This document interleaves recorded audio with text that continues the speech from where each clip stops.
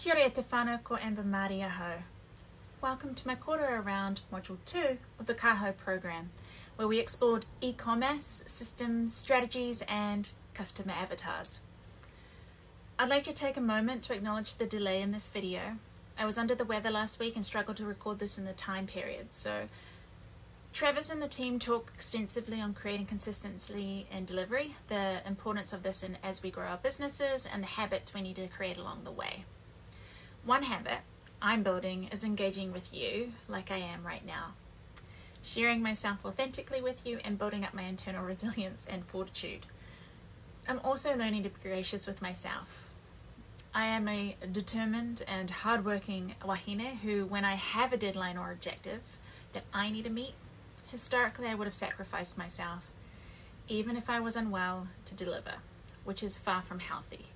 That's not me anymore, and taking a moment to rest and recuperate is incredibly important, and I needed to do that. However, I will continue to build up my experience in this space and strive to deliver consistently. Now, let's talk, talk around e commerce systems, strategies, and that very important customer avatar. Travis shared with us the three parts that make up Ka Hao's e commerce system traffic, a web page or a store that converts, and an autoresponder. First off is traffic. This is when potential customers are attracted to our store via social media or advertising. Next, we need a website that converts at least 1.8% of traffic into sales. This is also where we capture our traffic to build an audience. This in turn becomes a list of our potential customers. Finally, an autoresponder is a piece of software that sends out pre written emails automatically. It also allows for us to follow up with our audience through email marketing campaigns where we have the ability to make offers and sales to convert our audience into customers. Travis couldn't impress upon us enough that a list of potential customers is incredibly important and it's a valuable asset to have. We learned some key phrases lifetime value of the customer, or LTV, is about measuring the ability to repeatedly sell to a customer over time.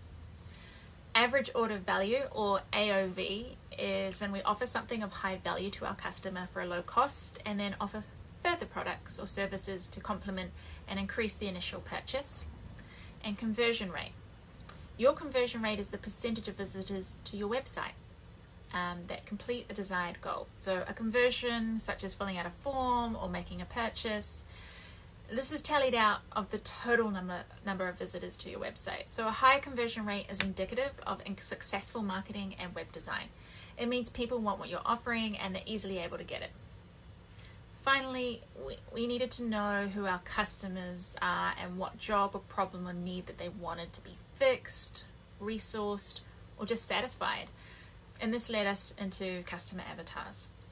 To market a product or service properly, the first thing I needed to get clear on was who my ideal customer was.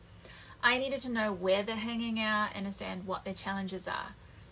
A customer avatar, also called an ideal customer, target market, or a buyer persona, is a detailed profile of my ideal customer.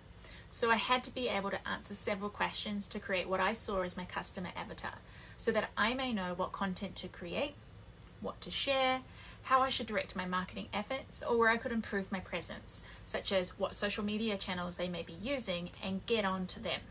So I need to know if they were on TikTok, Insta, Reddit, or LinkedIn. This gives me the opportunity to define and target my marketing so that I may be a lot more efficient about this entire process. Just a bit big. There were some fantastic nuggets to glean from in this module, and I'm developing three or four different avatars for me to be aware of, focus on, and start building content for.